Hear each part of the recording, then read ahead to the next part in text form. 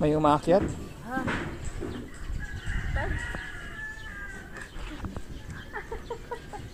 Oy, so scary. Paano ako bababa?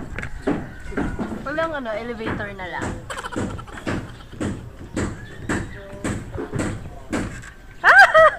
oh my gosh! Hanggang dito na lang po ako. Okay, may pinapaulit lang tayo ngayon kasi pumaling ang forma. Sorry guys, hindi, hindi pwedeng hindi ulitin.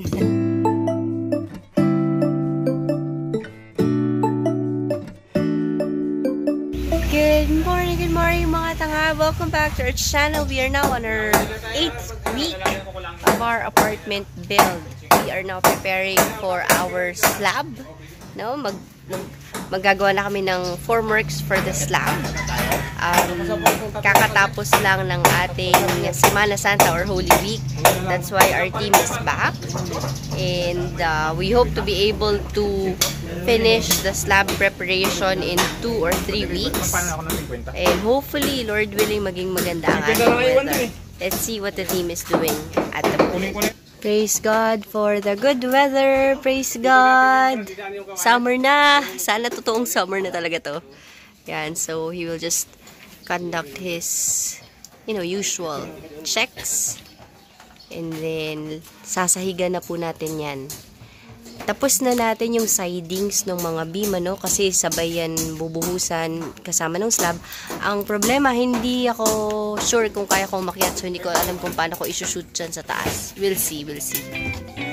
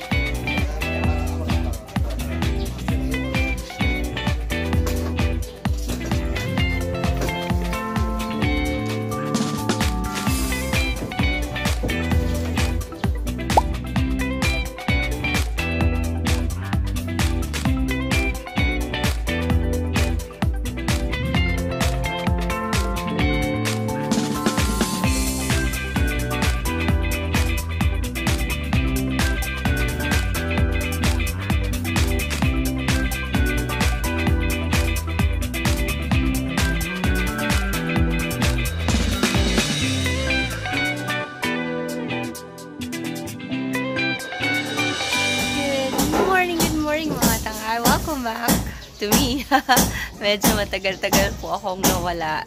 Ah, nagkasakit po ako, tapos nag-holy week, so hindi talaga ako nakakapunta dito sa site. Mm, yung boses ko medyo pabalik na, no?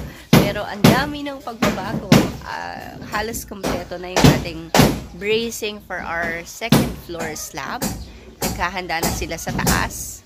Marami akong hindi nakunan pero try nating makabawi sa video natin this week. So, again, to those who are asking, this is a two-story apartment building. Ano po? It has six doors.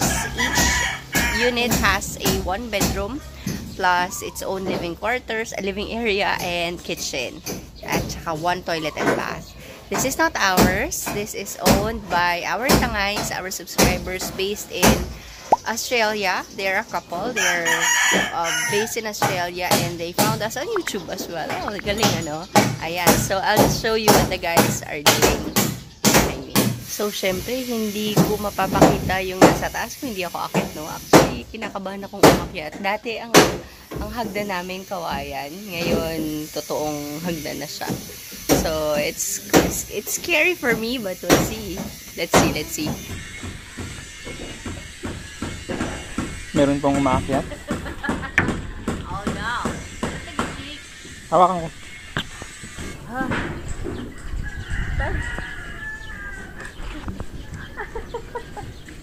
What? Hindi na bababali? Hindi ah. Akin na. Akin na yung ano. Oh, oh, it's so scary. Paano ako bababa? Ha? Walang ano, elevator na lang.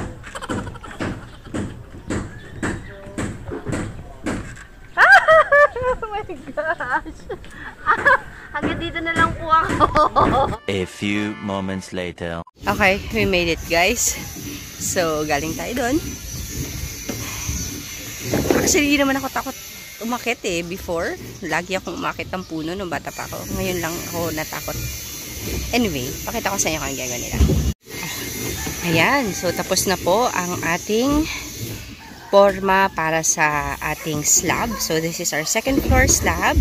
Sabay po ang buhos natin ng Mga beans. beams. So, bakit nga pala ako yung nagkukwento? Ikaw na lang magkwento. Sige, sir. Good morning! Morning mga tangay. Ayan. Yung naano tayo, nagkaroon tayo ng break dahil nagkaroon ng Holy Week. Mhm. So ngayon we will continue our progress at site. Okay. So, again, salamat sa Lacoste for sponsoring this video. Hindi, joke lang. Pinolik po yan. Sige, sir. Walk us through what we're doing right now. So ngayon tapos na yung ano natin, yung slab forms. Ngayon ay nagbaka na tayo sa beams. Ito, may iba ito. Bakal sa beams.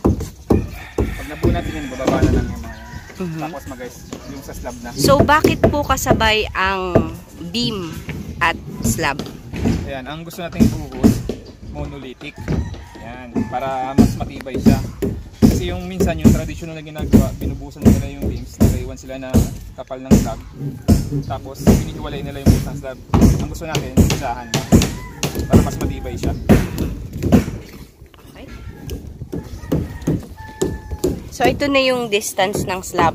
Ay, yung laki niya. Ah, ng beam. beams. Tapos yung angat ka ng 4 inches dito, yun yung, yung slab. So, ka, gaano kataas po yung slab? 4 inches. 4 inches. Hindi ba to babagsak? Hindi, mamaya tignan natin. Ano yan, marami yung suporta sa ilalim. Ah, Kawayan. okay. Ay, Andy, Ayan. dito na electrical natin. Ayan. Si Andy. Hello, good morning.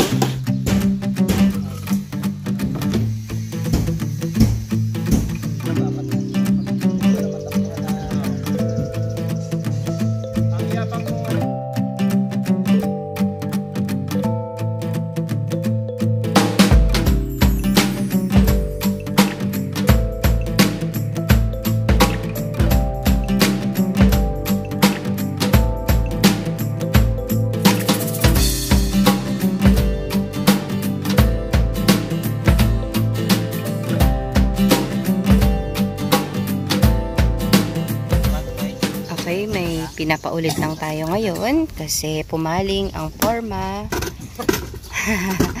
Sorry guys, hindi, hindi pwedeng hindi ulitin. so, kailangan nasa skwala ang ating beam. So, madali lang naman to bro, no? Yan, madali lang naman siya ulitin. Kasi, pumaling yun. So, dapat, ano to, nasa skwala. Ano yung Bix? Paka-explain daw. Yung drop niya, di ba? Yan. So, sa skwala, inaaral natin yan sa school, no? Ah, ibig sabihin yan, 90 degree angle. 90 degrees. Pakita natin. Dahil lang. Yan, ito. So, dapat, dapat, parehas yan siya. Yan. So, the rest, chinek na natin lahat. Ito lang, ito lang yung nag-iisa na hindi. So, ulitin natin yan. Okay lang yan. Hindi pa naman plakado eh. Di ba? Dali lang yan. Oops. Ayan. Ayan. Okay po. So, sila muna dito. May kunin lang ako sa bayan. Ngayon, paano tayo bababa? paano bababa, Bix? Paharap, palikod? Paano Paano daw ako makiat? So, that's so scary, my friends. Oh no!